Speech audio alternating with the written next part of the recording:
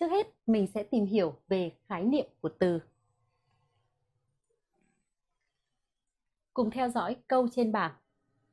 Câu trên bảng của cô.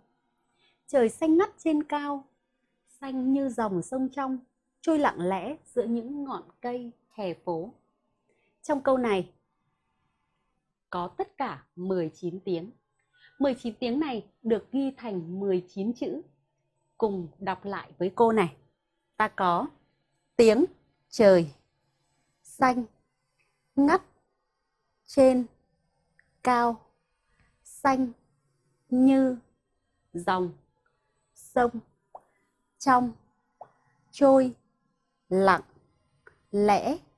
Giữa, những. Ngọn, cây. Hè, phố.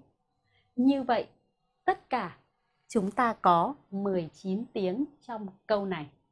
Phần phân biệt tiếng rất dễ, đúng không nào? Chúng mình cùng tìm hiểu tiếp nhé. Nếu xét về đơn vị từ thì đã khác rồi. Xét về đơn vị từ, ta sẽ có trời xanh ngắt, trên cao, xanh như dòng sông, trong trôi lặng lẽ giữa những ngọn cây hè phố. Như vậy, tất cả có 14 từ trong câu này.